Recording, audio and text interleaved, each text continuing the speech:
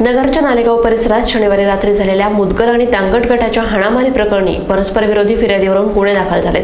दरम्यान रविवारी राष्ट्रवादीचे प्रवक्ते आमदार जितेंद्र आव्हाड यांनी या घटनेतील जखमी अॅडव्होकेट गजेंद्र दांगट यांच्या प्रकृतीची विचारपूस केली.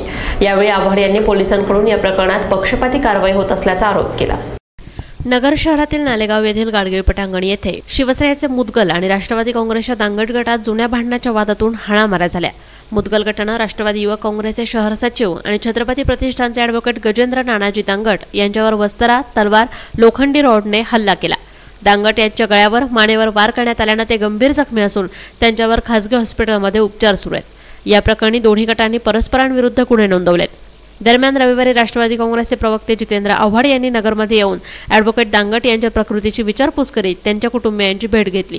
यावेळी त्यांनी नगरचे पोलीस पक्षपाती कारवाई करीत असल्याचा आरोप करीत या प्रश्नी विधिमंडळात आवाज उठवणार असल्याचं सांगितलं. छिंदम आणि मुद्दुल मुदगुल यांचे असलेले व्यावहारिक संबंध अख्ख्या नगरला माहिती आहे. छिंदमवरती जेव्हा दांगट यांनी पहिल्यांदा मोर्चे काढले अटक करा म्हणून मागणी केली ह्याच मुदगुलांनी दांगटला जाऊन सांगितलं होतं हात घालू नको आमचे आर्थिक व्यवहार अडकतील आम्ही पैशाने मरून जाऊ. शेवटी दांगट हा विचारांची लढाई लढत होता आणि मुगदुल मुदगुल आणि छिंदम यांचे आर्थिक व्यवहार होते. प्रश्न असा आहे की तुमचे आर्थिक व्यवहार सांभाळण्यासाठी पुरोगामित्वाची लढाई लढायची की नाही? आज तुम्ही त्या मुदगुल नावाच्या नगरसेवकाला सोडून देता. जो याच्यामध्ये तीनशे सात मध्ये आरोपी आहे अशा नालायक माणसाला सोडण्याचं धैर्य रत्नबारकी दाखवत. सहनशीलतेला मर्यादा आहे एवढंच मी आज नगरमध्ये सांगून जातोय. आणि ज्या पद्धतीने भिडेचं वर्तन आहे त्याच्या समर्थकांचं वर्तन आहे जे स्वतः म्हणतात की इथल्या गोर गरीब शोषित अत्याचारित लोकांना मारून टाका हे भिडेचं वाक्य आहे मी पुराव्यानेशी सिद्ध करून देतो. हा त्याच्यातनं घडलेला प्रकार आहे. जर भिडेला विरोध केला तर मारून टाकू. ही जी सर्वदूर पसरलेली भिडे समर्थकांची भावना आहे त्याच्यातनं घडलेला हा अटॅक आहे.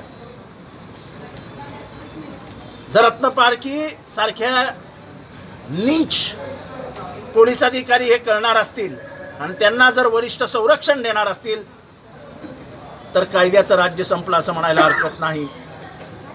म्हणजे एवढीच विनंती आहे रंजन शर्मा यांना. मी आता जाता जाता त्यांच्याशीही बोलीन.